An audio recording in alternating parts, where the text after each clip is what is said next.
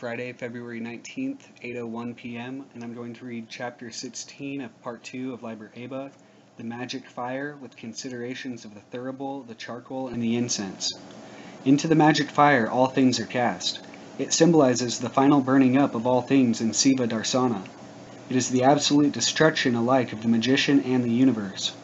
The thurible stands upon a small altar. My altar is of open brasswork. Burn thereon in silver or gold. This altar stands in the east, as if to symbolize the identity of hope and annihilation. This brass contains the metals of Jupiter and Venus fused in a homogeneous alloy. This is then symbolical of divine love, and it is open brasswork because this love is not limited in direction or extent, it is not particularized, it is universal. Upon this altar stands the censer proper. It has three legs symbolical of fire, because Shin, the Hebrew letter of fire, has three tongues of flame, and its value 300. Its cup is a hemisphere and supported from its edge is a plate pierced with holes. This censer is of silver or gold, because these were called the perfect metals. It is upon perfection that the imperfect is burned. Upon this plate burns a great fire of charcoal impregnated with niter.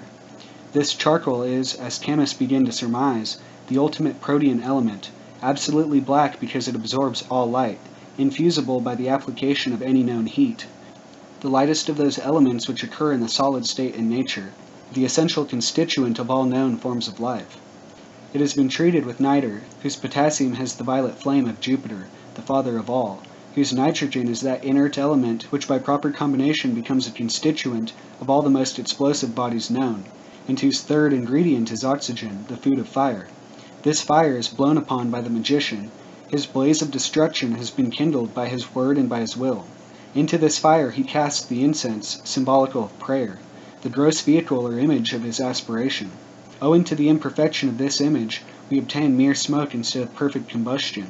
But we cannot use explosives instead of incense because it would not be true. Our prayer is the expression of the lower aspiring to the higher. It is without the clear vision of the higher. It does not understand what the higher wants. And however sweet may be its smell, it is always cloudy. In this smoke illusions arise. We sought the light, and behold, the temple is darkened. In the darkness, this smoke seems to take strange shapes, and we may hear the crying of beasts. The thicker the smoke, the darker grows the universe. We gasp and tremble, beholding what foul and unsubstantial things we have evoked. Yet we cannot do without the incense. Unless our aspiration took form, it could not influence form. This is also the mystery of incarnation. This incense is based upon gum olibanum, the sacrifice of the human will of the heart. This olibanum has been mixed with half its weight of storax, the earthly desires, dark, sweet, and clinging, and this again with half its weight of lignum aloes, which symbolizes Sagittarius the arrow. Note that there are two arrows, the divine shot downward, the human upward. The former is the oil, the latter the incense, or rather the finest part of it. See Liber 418, the fifth Aethyr. And also represents the aspiration itself. It is the arrow that cleaves the rainbow. This arrow is temperance, or art in the tarot. It is life equally balanced and direct which makes our work possible, yet this life itself must be sacrificed. In the burning up of these things arise in our imagination those terrifying or alluring phantasms which throng the astral plane. This smoke represents the astral plane, which lies between the material and the spiritual. One may now devote a little attention to the consideration of this plane, about which a great deal of nonsense has been written. When a man shuts his eyes and begins to look about him, at first there is nothing but darkness. If he continues trying to penetrate the gloom, a new pair of eyes gradually opens. Some think that these are the eyes of imagination. Those with more experience understand that this truly represents things seen, although those things are themselves totally false. At first the seer will perceive grey gloom. In subsequent experiments, perhaps, figures may appear with whom the seer may converse, and under whose guidance he may travel about. This plane being quite as large and varied as the material universe, one cannot describe it effectively we must refer the reader to Liber O, into Equinox 1 2, pages 295 to 334, into the Temple of Solomon the King, Book 2, Chapter 4, The Seer. See also below, Part 3, Chapter 18, page 241, and Appendix 3, Notes for an Astral Atlas, page 499. This astral plane has been described by Homer in the Odyssey. Here Polyphemus and the Laestrygons, here Calypso and the Sirens. Here too are those things which many have imagined to be the spirits of the dead. If the student once take any of these things for truth, he must worship it, since all truth is worshipful. In such a case he is lost. The phantom will have power over him. It will obsess him. As long as an idea is examined, you are free from it. There is no harm in man's experimenting with opium smoking or feeding on nuts, but the moment he ceases to examine, to act from habit and without reflection, he is in trouble. We all of us eat too much because people, liveried and obsequious, have always bustled up five times daily with six months' provisions, and it was less trouble to feed and be done with it than to examine the question whether we were hungry.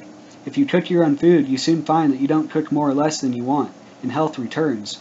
If, however, you go to the other extreme and think of nothing but diet, you are almost sure to acquire that typical form of melancholia in which the patient is convinced that all the world is in league to poison him. Professor Schweinhund has shown that beef causes gout. Professor Nashnikov proves that milk causes consumption.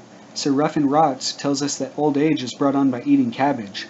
By and by you reach the state of which Mr. Hereward Carrington makes his proud boast. Your sole food is chocolate, which you chew unceasingly, even in your dreams. Yet no sooner have you taken it into you than you awake to the terrible truth demonstrated by Gutterbach Q. Hosenscheiser, 4th Avenue, Grand Rapids, that chocolate is the cause of constipation, and constipation of cancer, and proceed to get it out of you by means of an enema which would frighten a camel into convulsions. A similar madness attacks even real men of science. Metchnikoff studied the diseases of the colon until he could see nothing else, and then calmly proposed to cut out everyone's colon, pointing out that a vulture, who has no colon, is a very long-lived bird. As a matter of fact, the longevity of the vulture is due to its twisted neck, and many thoughtful persons propose to experiment on Professor Metchnikoff. But the worst of all phantasms are the moral ideas and the religious ideas. Sanity consists in the faculty of adjusting ideas in proper proportion. Anyone who accepts a moral or religious truth without understanding it is only kept out of the asylum because he does not follow it out logically. If one really believed in Christianity, one would go mad if one took the Bible seriously, but to take it seriously one must be already mad. If one really thought that the majority of mankind was doomed to eternal punishment, one would go raving about the world trying to save people. Sleep would not be possible until the horror of the mind left the body exhausted. Otherwise, one must be morally insane. Which of us can sleep if one we love is in danger of mere death? We cannot even see a dog drown without at least interrupting all our business to look on. Who then can live in London and reflect upon the fact that of its seven million souls, all but about a thousand Plymouth Brethren will be damned? Yet the thousand Plymouth Brethren, who are the loudest in proclaiming that they will be the only ones saved, seem to get on very well, thank you. Whether they are hypocrites or morally insane is a matter which we can leave to their own consideration. All these phantoms of whatever nature must be evoked, examined, and mastered.